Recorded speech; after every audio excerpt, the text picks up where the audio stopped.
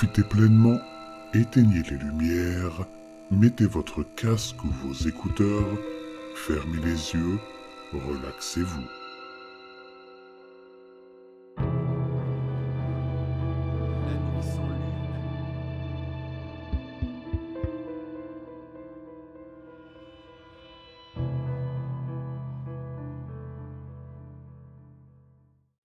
Je m'appelle Adrien. J'aimerais vous raconter une histoire fameuse dans ma famille qui s'est déroulée il y a presque 30 ans. À l'époque, j'avais 11 ans et j'étais en vacances chez mes grands-parents avec ma petite sœur Cathy et mon cousin Pierre qui avait 24 ans à l'époque. Ils habitaient à la campagne, très loin des grandes villes et de l'agitation. J'aimais beaucoup les longues promenades jusqu'à la tombée de la nuit à travers les champs avec mon cousin, et Cathy passait ses journées à chasser toutes sortes d'insectes, à l'exception des araignées qu'elle avait en horreur, ce qui était compréhensible à huit ans. Bref, on passait de super moments. Le soir, on restait tous à l'intérieur et on faisait un jeu de société. Certains soirs, les soirs de pleine lune parce qu'on y voyait, on laissait les volets du salon ouverts, et on entendait parfois des crapauds qui passaient dans le jardin entourant la maison. Seulement toute cette période formidable de notre jeunesse s'est arrêtée d'un coup net. Un soir du mois de novembre, pendant les vacances de la Toussaint. C'était une nuit sans lune, et on avait l'interdiction formelle de sortir, à cause des éventuels serpents et autres dangerosités qu'on ne pourrait pas voir. La campagne, c'est très différent de la ville. Là-bas, quand il fait nuit noire, on ne distingue rien, absolument rien.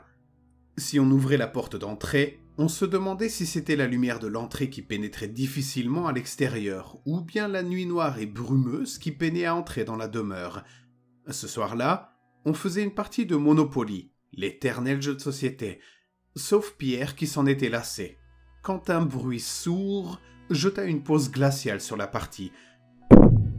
Grand-père crut identifier un oiseau mort qui se serait écrasé sur le toit. La partie reprit donc. Mais il y avait un nouveau choc, toujours aussi sourd et qui aurait presque fait vibrer les cadres du salon. Pierre, excédé, décida d'aller jeter un œuf dans le grenier. Il en avait du courage, et moi et ma sœur, on l'admirait beaucoup, parce que je peux vous assurer que jamais nous n'aurions eu le courage de monter les hautes marches menant au grenier sans lumière.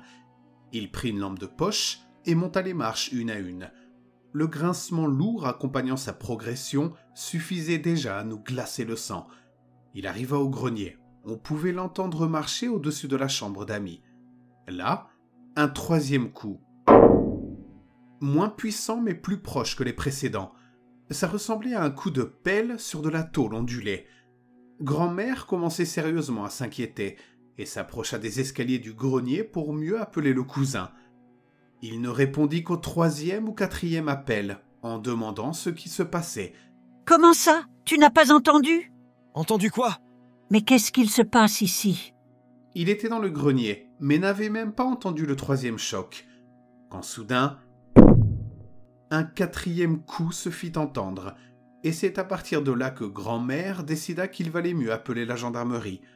Grand-père, lui, déclara qu'il devait s'agir d'une plus grosse bête, qu'il allait sortir pour aller voir ce qu'il en était. Il descendit à la cave pour aller chercher la lampe tempête et sortit avec Pierre qui tenait le fusil. Au bout de dix minutes, sans nouvelles, grand-mère se résolut à décrocher le téléphone, au moins pour appeler nos parents et avoir leur avis, au mieux pour appeler la gendarmerie. Mais il n'y avait aucune tonalité.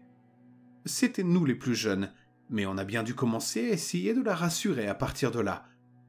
Elle devint incontrôlable et nous emmena dans leur chambre pour s'enfermer à double tour, au moment où retentit un nouveau choc.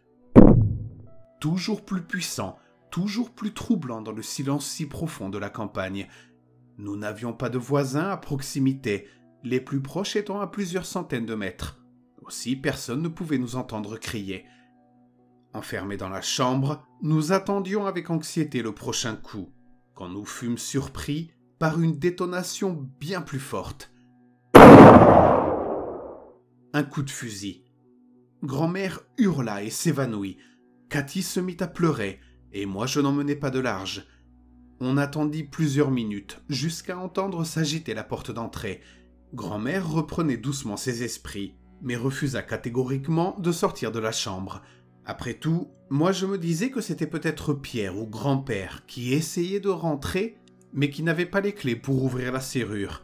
Donc je suis sorti, contre l'avis de grand-mère, pour aller leur ouvrir. Arrivé devant la porte, je m'arrête. C'est stupide, mais dans la situation, j'avais quand même un doute. Je remercie le ciel tous les jours de n'avoir pas ouvert précipitamment. J'ai crié à travers la porte pour savoir qui appuyait lentement sur la poignée.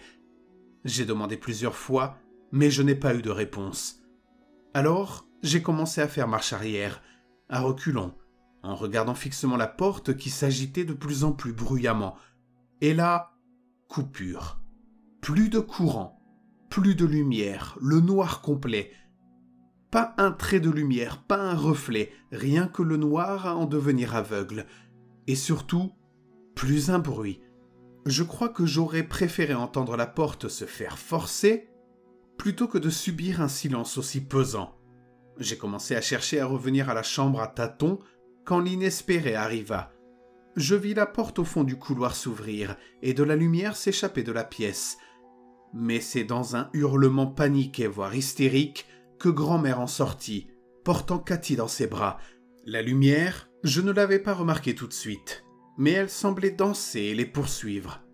En m'approchant, j'ai fini par comprendre ce qui se passait. Elle avait essayé d'allumer des bougies, mais comme c'était le noir complet, elle avait fini par mettre le feu au lit, qui se consumait rapidement sous les flammes, qui gagnaient en hauteur et en intensité à une allure impressionnante. On s'est réfugié dans la cuisine, guidé par un simple briquet, on n'osait plus ni sortir, ni rester. On était entre les flammes de l'enfer de la maison qui commençait à s'incendier sérieusement, et le froid glacial de la mort qui nous attendait à l'extérieur. Finalement, on a pris des couteaux à la cuisine et on s'est réfugié au sous-sol. Il n'était pas situé exactement sous la maison, mais légèrement plus au nord, alors on s'y sentait plus à l'abri. La cave avait son propre groupe électrogène, qui servait d'ordinaire à alimenter les machines de bricolage de grand-père, on était recroquevillés là, au fond de la cave, sentant passer ça et là quelques cafards curieux, à attendre je ne sais quelle solution. C'est alors que la fenêtre qui ornait le mur du fond de la cave explosa sous le choc d'une barre métallique noire.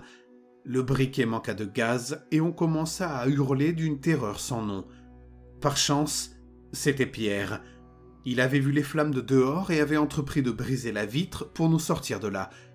Ensuite, on a couru jusqu'à arriver chez un voisin, à travers une campagne d'ordinaire si chaleureuse, mais cette nuit d'une noirceur létale. On a tambouriné à la porte jusqu'à ce qu'il nous ouvre, et on a attendu là. Quand les gendarmes sont arrivés à l'aube, avec les pompiers, on nous a appris la découverte du corps de grand-père, retrouvé à moitié enterré dans le champ derrière la maison. Une fois dehors, Pierre et lui avaient été séparés quand une sorte de bête massive les avait attaqués. Ça aurait pu être un sanglier d'après la description de Pierre, mais d'une taille peu commune.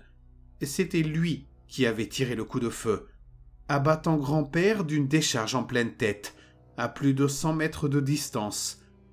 Une balle perdue n'est pas perdue pour tout le monde.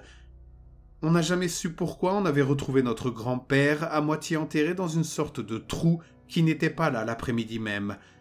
On n'a jamais su non plus ce qui avait attaqué la maison et pourquoi nous avions été coupés du monde toute la nuit. Mais il y a une chose qu'on n'oubliera jamais. C'était la taille des griffures sur la porte d'entrée.